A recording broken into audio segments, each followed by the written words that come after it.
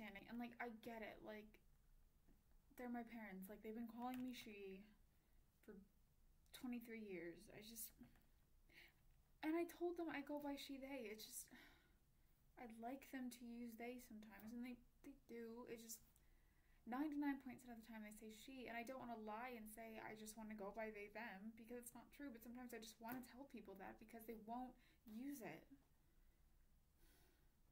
Know they feel bad and so I don't want to make them feel worse. It's just like my brothers got it right away. I mean, they balance it so perfectly and I don't know, sometimes I feel like it's my fault because I'm just like inconveniencing everybody by suddenly giving them some other title to use and I, I don't feel like I have a right to be guilty about it or guilt them. It's just Hallie's parents got it right away. It's just and I know it's not true. It just makes me wonder sometimes if they don't want to call me that or they find it weird. Yeah, I know. Yeah, you are pretty great at it. Yeah. They'll figure it out. Yeah, okay. Love you too.